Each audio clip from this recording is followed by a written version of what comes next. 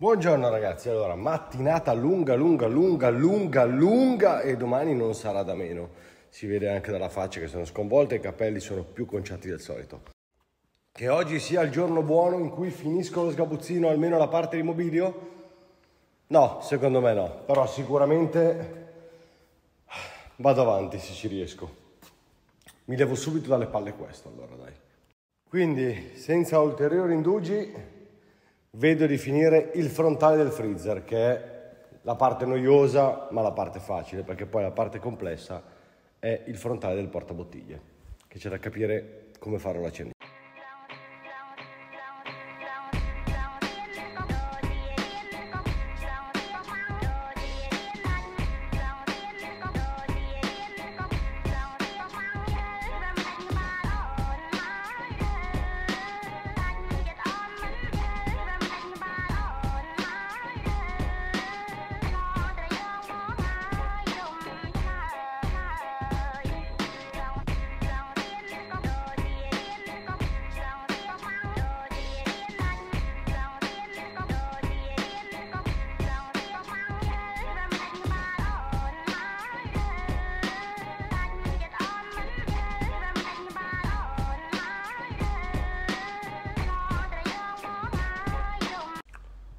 Ok, penultimo pezzo fatto. Questo qua adesso si può tirare e far rientrare quando sarà all'interno del contenitore con le guide. Aprire si apre.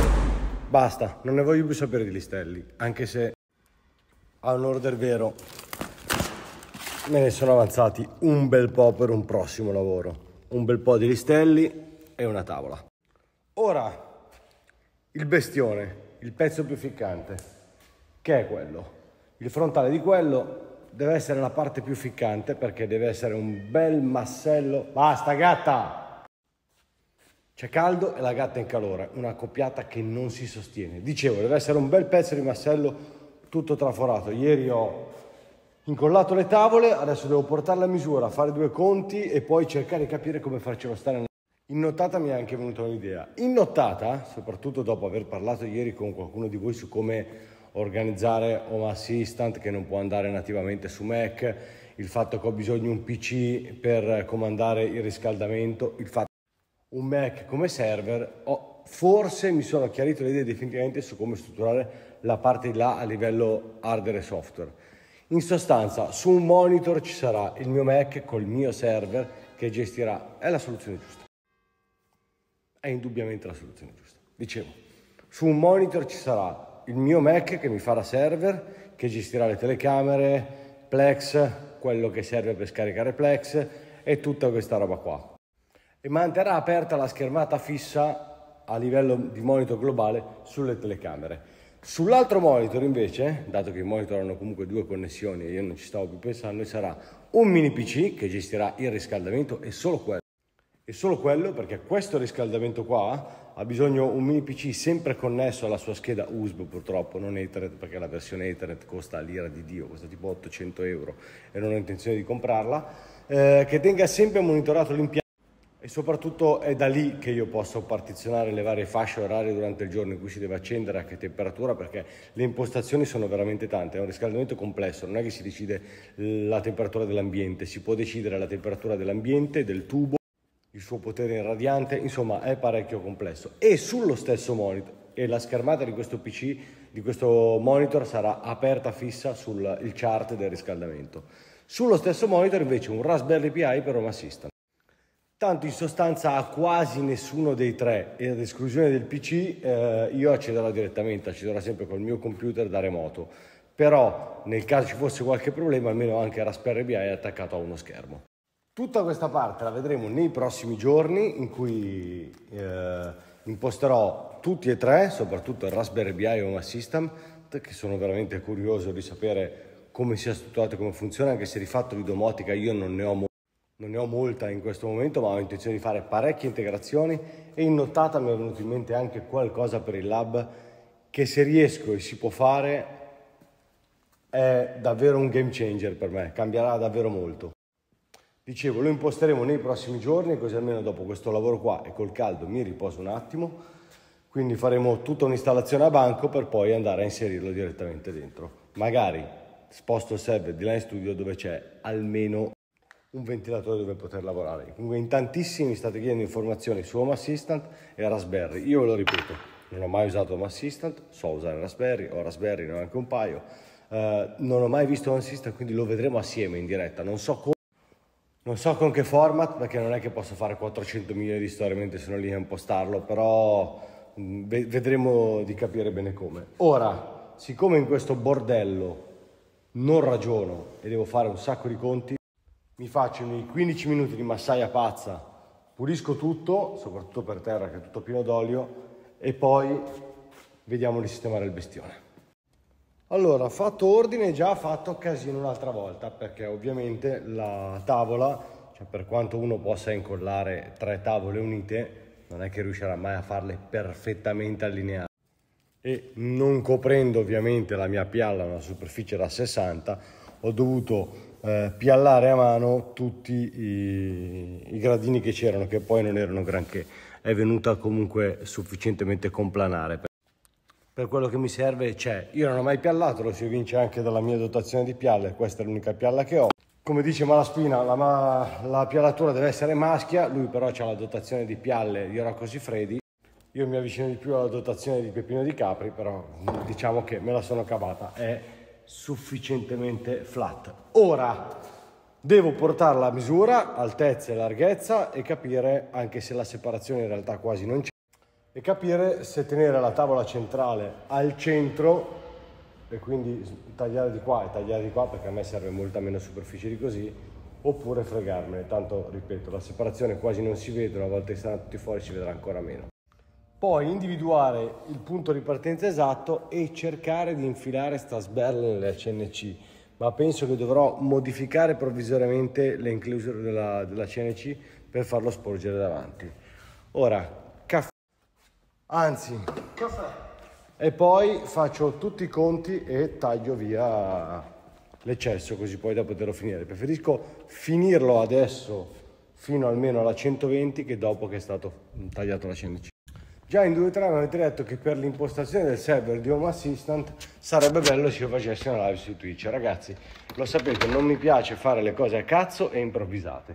Una live su Twitch non l'ho mai fatta. Il, da, da, sondaggio precedente il 5% di voi conosce ehm, eh, Twitch, quindi non sarà questo il caso. Io farò qualcosa su Twitch, ve lo garantisco, ma non sarà su una live una live dove devo impostare un server e per la prima volta mi metto a fare Twitch con la chat, capire come funziona Twitch mentre cerco di capire come funziona un assista su Raspberry. Cioè divento cretino inutilmente, voglio portare a termine il lavoro. Farò una live su Twitch, farò varie live su Twitch appena riesco a organizzarmi dal laboratorio, cioè semplicemente così almeno io sono più confidente in quello che sto facendo, la mia attività è quella di tutti i giorni, semplicemente vai live su Twitch. Così sì, sto organizzando le cose, sto parlando con una persona che mi dia una mano che mi darà una mano a organizzare e a gestire tutto, poi ve lo dico tranquillamente, senza menate di spoiler varie. La mia idea è quella poi fare un, me- un, un giorno al mese, almeno per prova iniziale, live dal laboratorio 8, 6, 10 ore, il tempo che io sto in laboratorio. Però voglio organizzarla come si deve, devo capire bene come funziona Twitch, devo attrezzare tecnicamente il laboratorio, capire come si fa a gestire una regia con più camere, se ho bisogno di una persona, come faccio a leggere i vostri commenti ma soprattutto voglio che quella giornata che va extra rispetto alla programmazione dello show qua su, su, Instagram sia dedicata a un singolo progetto, così anche chi arriva su Twitch che non arriva direttamente da Instagram possa avere un senso della cosa anche per lui. Non vi dico presto, ma succederà, mi sto organizzando, cioè, questo purtroppo non è ancora il mio lavoro, a me piacerebbe che questo diventasse il mio lavoro tutti i giorni, ma non lo è, quindi ho anche altro da fare che organizzare ste fregnacce. Allora, ho la prova che non sono io a complicare le cose, ma le cose mi si complicano, non faccio mica di proposito. Allora, io ho qua la mia tavola, ok, che è eh, 940. Come da disegno, eh, cioè come da, da, da mobile, eh, la parte dei fori deve iniziare a 15 cm dal basso e un po' più rispetto all'alto. Quindi lo spazio utile che io devo, che ho bisogno da poter mettere nella CNC è in realtà di 7,40. La mia CNC copre abbondantemente gli 80 cm perché va sul metro, per cui non è certo un problema fresare un pannello da 7,40 ma il mio pannello è da 9,40 e non ci sta dentro la CNC il culo vuole però che io riesca ad adagiarlo dentro le inclusive della CNC e farlo sporgere di qua e di là. Per cui no a sto giro non mi si è complicato un cazzo. Quindi forse è vero sono io che complico le cose intanto. Sì. allora sono è una lavorazione da simulazione un'ora e 51 che non è tantissimo ma abbastanza per farmi stringere il culo non ho nessuna certezza sulla riuscita di questa fresata e soprattutto sul fatto di aver fatto i conti giusti per imbroccare i buchi dove devono essere, però anzi vedo già che c'è qualcosa sì, vedo già che c'è qualcosa di strano, però vi avviso subito che se non viene non faccio un alto pannello, lo faccio bianco e basta, perché sto lavoro mi dà il volta stomaco. Ne posso più tutto settato, tutto fisso, tutto bello inchiodato, tutto con planare, tutto speriamo vada bene. Ora non posso far altro che impostarla tutta e aspettare un'ora e 51. A sto giro niente time lapse perché mi devo mettere a fare delle cose col cellulare, quindi non posso farvi il time lapse, però ci vediamo tra due ore. O più facilmente prima se qualcosa va a puttane. Speriamo. Sono stanco anche perché dopo stamattina sono veramente, veramente stanco ragazzi. Che ore sono? Già le 5. Non lo finiamo neanche oggi. Ok, allora le misure le ho prese giuste. Sta fresando giusto, non ha sbordato, è andato perfetto. Mi fa ben sperare, ora è solo questione di tempo. Non so se finiamo oggi o no, perché ha organizzato un altro dei suoi aperitivi social, però mi sa che io sono esentato per fortuna, perché è solo lei, una sua amica, la sua amica ha bisogno di fare dei discorsi da donne tra di loro e quindi vorrebbe che non ci fossi. Quindi forse mi salvo. E se mi salvo e mi faccio un Supradin e recupero un po' di forze, potrei anche fare una tirata per finire. Vediamo perché comunque un'ora e me finirà circa verso le 7. Dai, casomai tiriamo un po' per le nel frattempo un plauso ai programmatori di Instagram che oltre agli innumerevoli problemi e bug aggiunti nelle versioni appena uscite, compreso il fatto per me impossibile di girare la camera, se no vengo deformato manco nella casa degli specchi, hanno aggiunto un'altra fantastica porcata. Praticamente mi sono stati contestati due reel e mi sono stati anche rimossi perché non ho autorizzato a usare la musica. Ma brutti mentecatti, l'ho presa da voi la musica. Cioè la musica me la dà Instagram quindi, mio caro Instagram, fai pace col cervello, ma soprattutto ficcati in testa una roba. Quando programmi un'app, un programma, qualsiasi cosa, il fatto che la build dell'app vada a buon fine non vuol dire che funzioni. Devi pagare dei, dei, dei beta tester, perché il codice potrebbe andare e la, fare delle porcate in mano come modificare la gente a effetto smilzo tutte le volte che giri la camera. Dai, che se ci va bene le donne in crisi mi salvano la giornata e non devo andare all'aperitivo, all'aperitivo sociale. Ancora un po' di pazienza, sta facendo l'ultimo. Intanto io ho bordato i fianchi di quello, tolto tutti i tubi e dato la prima mano di Bondex al piano. Ce ne vorranno due perché il pioppo non è certo figo come il betulla, quindi ce ne vorranno due. Per quanto io sia stato esentato, la vedo veramente dura a finirlo stasera, perché non manca poco, c'è da oliare tutto quello, tagliare la misura, incollarlo, mettere dentro quelli e fare i collegamenti elettrici.